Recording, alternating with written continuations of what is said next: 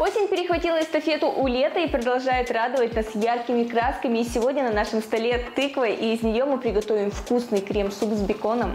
Итак, нам потребуются такие ингредиенты, как сливки, тыква, бекон, лук, чеснок, а также сыр пармезан.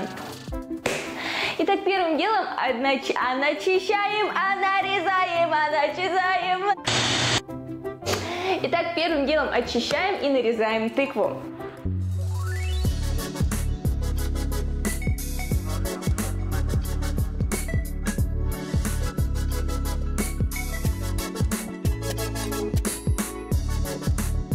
Заливаем водой и отправляем вариться до готовности. Помните, чем меньше у вас нарезаны кубики, тем быстрее отварится тыква. А пока отваривается тыква, обжарим бекон.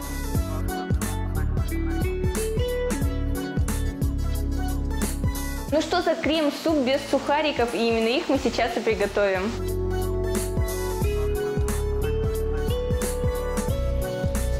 Многие ошибочно полагают, чтобы для, для того, чтобы, да, чтобы для того, чтобы... э, Многие ошибочно полагают, для того, чтобы получить чесночные сухарики, хлеб необходимо сушить чесноком, и это неправильно. Достаточно отдельно высушить хлеб и добавить чесночное масло.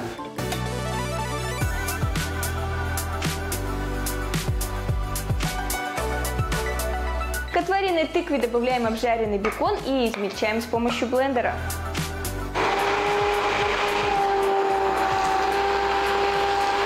Сливки и вновь доводим до кипения. Сухари мы высушили и теперь можно добавлять чесночное масло. Добавляем изысканности нашему блюду, посыпая его пармезаном и наслаждаемся. Приятного вам аппетита!